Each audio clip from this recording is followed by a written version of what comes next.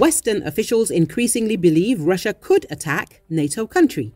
Western governments have increasingly warned of a possible Russian attack on NATO countries based on new assessments of Russia's military capabilities and threats to the alliance's security, according to the Financial Times. We are living in truly dangerous times and at a point when large scale conflict is more likely than it has been in recent history, said a British military intelligence official. Russia's bellicose intent is still there, said a second UK defence official. Its land forces have been degraded in Ukraine, but its air force and navy are largely intact, and Russia is still a major nuclear power.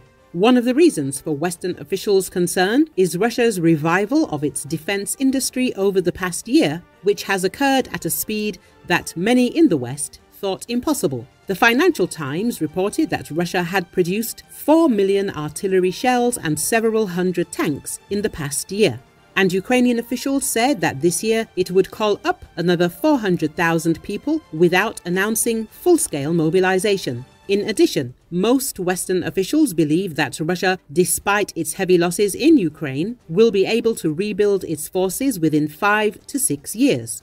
One European official said that Russia's intention and ability to attack a NATO country before the end of the decade is pretty much consensus. In the military alliance, opportunity is the only variable. The official said. The Financial Times also quoted an unnamed Ukrainian official as saying that Kiev has strong intelligence that Putin is preparing for a war against the Baltic states.